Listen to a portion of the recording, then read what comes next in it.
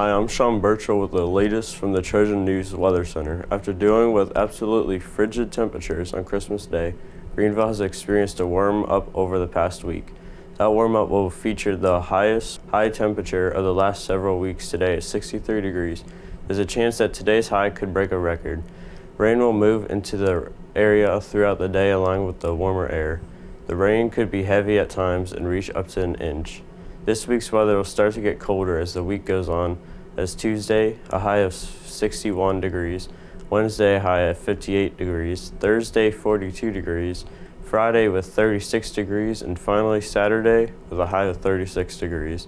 That's the latest from the Trojan News Weather Center. Have a great day.